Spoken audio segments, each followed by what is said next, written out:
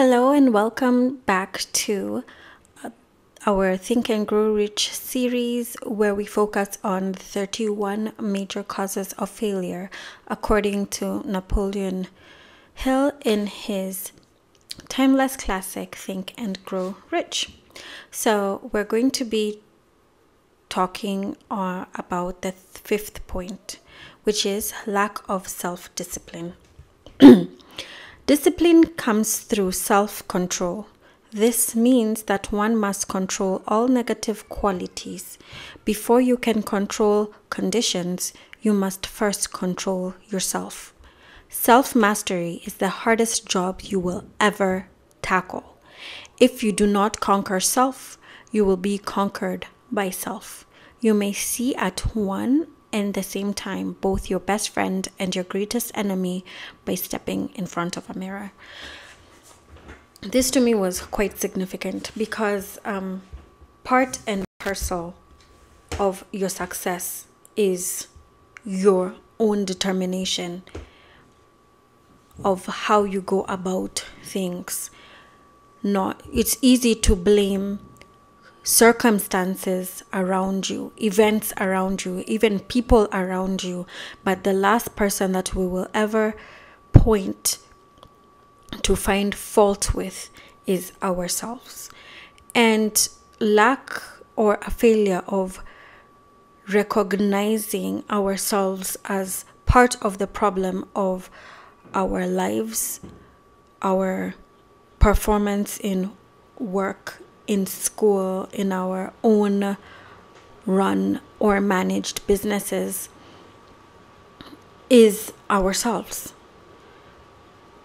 So that for me hit home. I've never really had a problem with self discipline because um, how I grew up, the type of household, like I said, like that my parents ran, and also in terms of like the education system that I was in, self discipline was something that was a big, a major deal.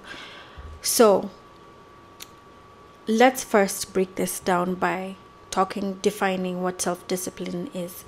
And according to, um,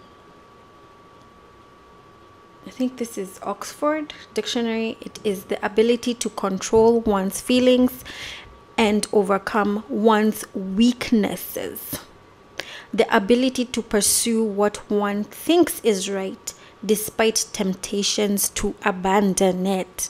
Let's go back. The ability to pursue what one's one thinks is right despite temptations to abandon it.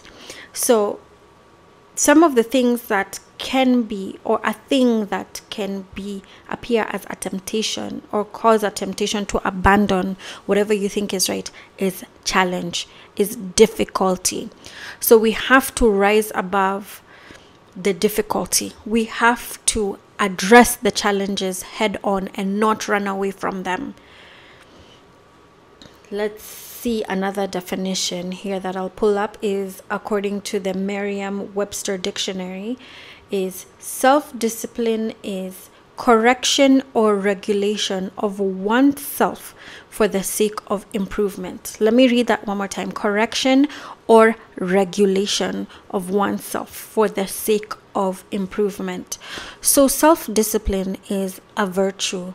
It's a virtuous trait. It's a good word. It's I used to think it was a hard word because mastering the ability to push yourself to become better is quite challenging. Like for example, when you think about let's say you want to lose weight, right? You have to work out and sometimes working out first of all, carving out time to work out big deal. Where does that come from? We have to sacrifice something that we love. We have to not we have to add or squeeze in more to our day. For example, like you want to rest, you've had a long, hard, long day. You still have to overcome being tired. You have to overcome being sleepy and put in that time to work out. On top of that, the exercises themselves can be can have such a great physical exertion on your body that you're not ready for. And even if you go through with it like one time you can be like hey man that was too much work. That was too much time it was just hard all around and you're like yeah i don't think i'm cut out for this. This is not for me. And you give yourself an excuse like at least i tried. And then like you completely forget about it. Changing our diet another example. You know you need to eat healthy but then you're so addicted to eating out or eating meals that aren't like carefully prepared carefully thought out that will balance everything that you need they will balance can i say balance your metabolism let me say that word that will be good for your mind good fuel for your mind and so on and so forth Another example, making your bed in the morning or making your bed at least every day, doing your laundry. And I know I'm giving everyday examples, but the thing is that charity begins at home. The habits that we have around ourselves or around us on a day to day basis, if we don't master, if we don't discipline ourselves around our in immediate environment, like our body, our oral hygiene, our bodily hygiene our like how we keep the rooms and the spaces that we occupy and that we live in and that we use to create that we use to study that we use to better ourselves professionally. If everything is just scattered disorganized if there's just like a lot of things that you have like you're hoarding and that you're not like going through what you need, what you don't need, what is old, what is new and stuff like that that can it blocks your mind and when you block your mind you're not able to now to use the energy that you have with a clean mind to get clarity so that you can express your ideas and that you can transform your ideas into real things such as products, services, and so on and so forth, right? Um, another point that I had is that um, from the Oxford Dictionary is the ability to control one's feeling and overcome one's weaknesses. We should all take note of what our weaknesses are and not ignore them and just say, oh, that's part of my personality. It's some things are okay they're not part of our personality but because we are running away from addressing them we we graft them into who we are. And the reality is that mm, it's not really who you are. It's like what you choose to refuse to do or what you choose to allow to happen in your life. So like if i give an example of myself like in the past, I was a big procrastinator and I had my own re- reasons for maybe procrastination, and they were mostly because of fear like fear that I wasn't intelligent enough to write a good report or I wasn't intelligent enough to write a good article. So I would like over consume information and say, yeah, I'll get to it after I've finished consuming this information. And it would take me such a long time to get to my deadline, and I'd find myself like pulling all nighters like 24 hours 36 hours 72 hours when i had like maybe like a week or two weeks to prepare this thing but i let my insecurities about like my intellect you know i let them have the best of me. Another example of why I was procrastinating, sometimes fear.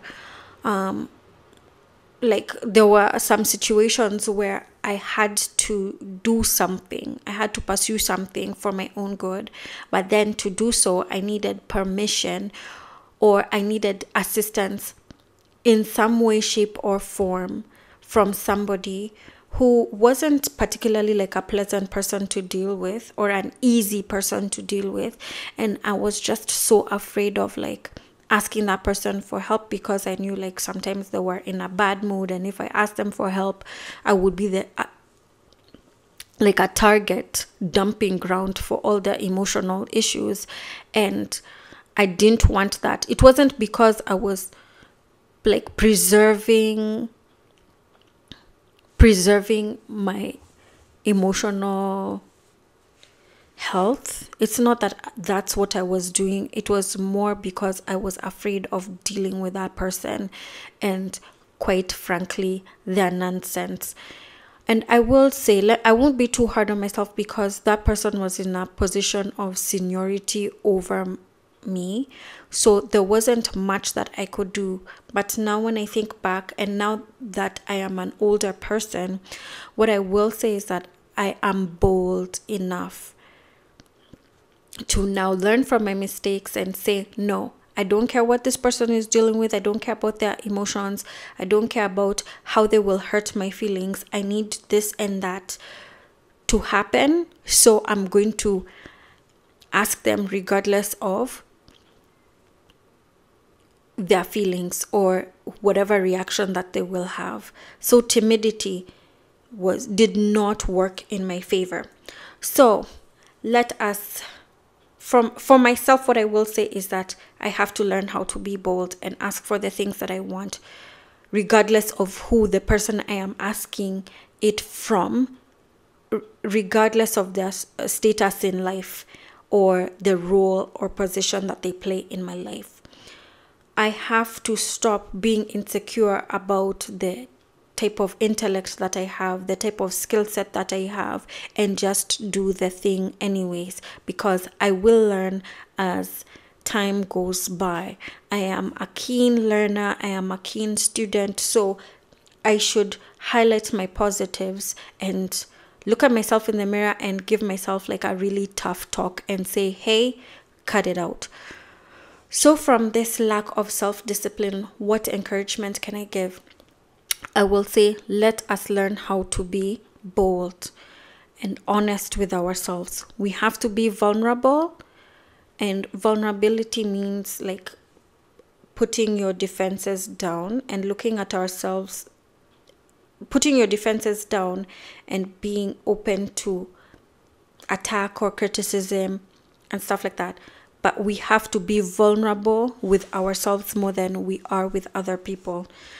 And when we're vulnerable with ourselves, we're able to be honest with ourselves. So we write down or we make note of all our weaknesses that we have, not to put us down, but in a way to build us up so that we can work on these things that are standing in the way of our progress, that are standing in the way of our success.